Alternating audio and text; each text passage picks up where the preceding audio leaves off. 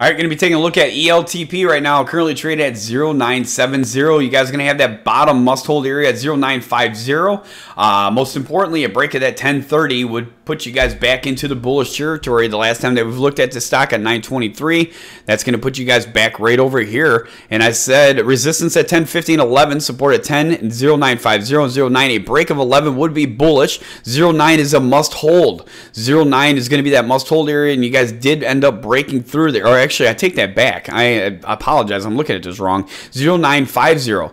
Uh, you guys, that area right there, um, I would like to see hold to be where you're at. Uh, I'm going to move that up off of that 09. I think that should be a little bit higher now. At that 0950 is going to be the must hold. A break at 1030 would put you guys back into that bullish territory uh, right here.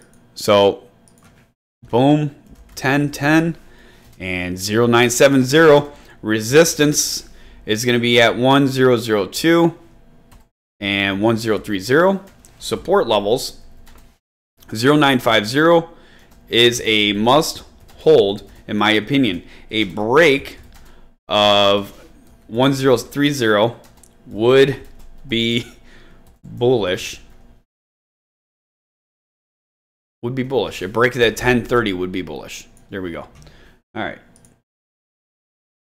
ELTP. There we go.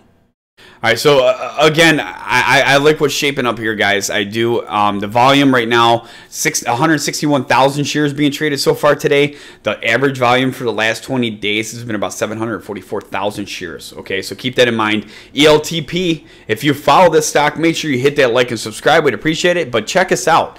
You can watch us live while we're doing this live on investorshangout.com forward slash live.